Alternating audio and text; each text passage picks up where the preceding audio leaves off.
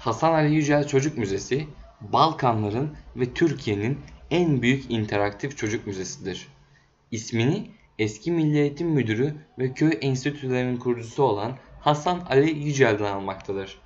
Edirne Belediyesi vizyon projelerinden biri olan Hasan Ali Yücel Çocuk Müzesi'ne Ankaralı profesörlerin katkıları ile Milli Eğitim Bakanlığı müfredatına uygun içerikler hazırlandı.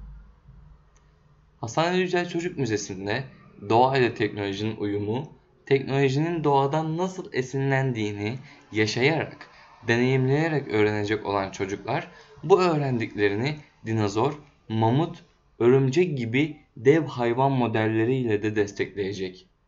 Kampüs içerisinde dış mekan paleontoloji sergisi, dış mekan entomoloji sergisi, dış mekan bilim sergisi ve dış mekan inşaat sergisi gibi alanlar yer alıyor.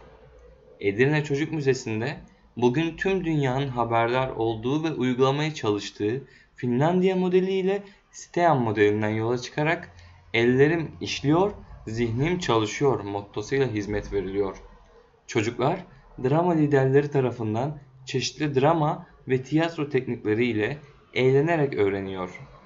Hasan Ali Yücel Çocuk Müzesi gerek okul derslerini gerekse sosyal yaşantını pekiştirerek geleceğe daha farkında ve bilinçli hazırlanabileceği bir ortamı çocuklara sunuyor.